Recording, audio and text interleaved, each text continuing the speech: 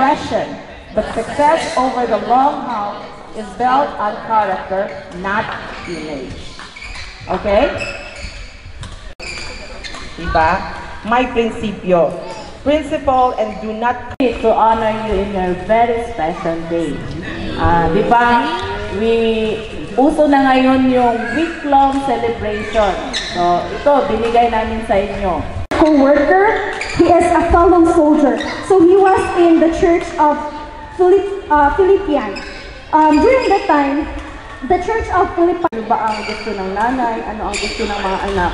You should get the ID. Titus volunteered na siya yung magdala para kay Paul. And it will take him six weeks para mag-practice. Nice serve, nice serve. Yung mga bata lang yung tatlong nag Ayun o. Bunal day. Last one.